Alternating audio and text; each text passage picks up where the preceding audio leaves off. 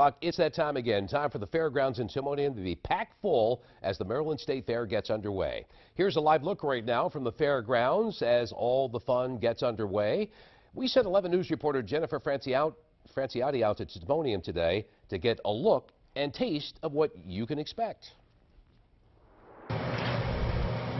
One thing's for sure, at the Maryland State Fair, you won't go hungry. Just about every type of meat you'd want to eat is here, and from the baked beans to the deep fried anything, the Funnel Cake Factory is where you'll find a growing Baltimore favorite, the deep fried burger cookie. It's very good. If you love a burger cookie, you're going to really love it deep fried.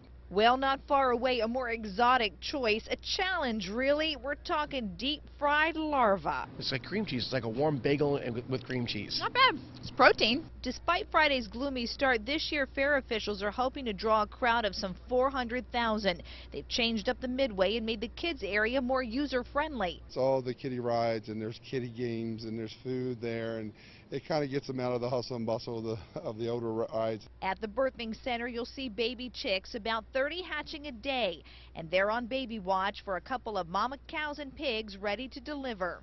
She'll have a baby probably about every 15 or 20 minutes once she gets started. Uh, she could have anywhere from 6 to 16.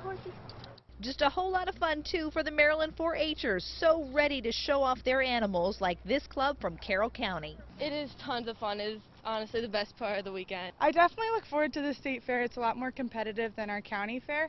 Um, so I do have a lot of fun staying in the barn. It's a whole new experience. Oh, and remember those babies we were talking about? Aw. Jennifer Franciotti, WBAL TV 11 News.